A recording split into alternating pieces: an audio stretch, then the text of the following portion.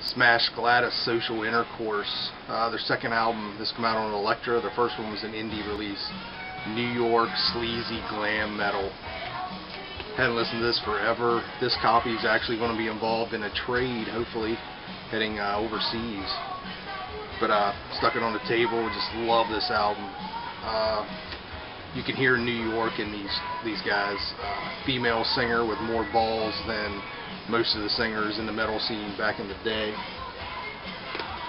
Uh, like I said, you can hear New York. You know, I hear New York Dolls. I hear a little bit of Kiss, uh, Circus of Power, who I mentioned before. Uh, and you would hear it later in the Toilet Boys, just that whole New York grimy, but yet glammy scene, you know, sound great band. Um, uh, I'm gonna try and put some links down here in the bottom in the uh, comments, so check them out.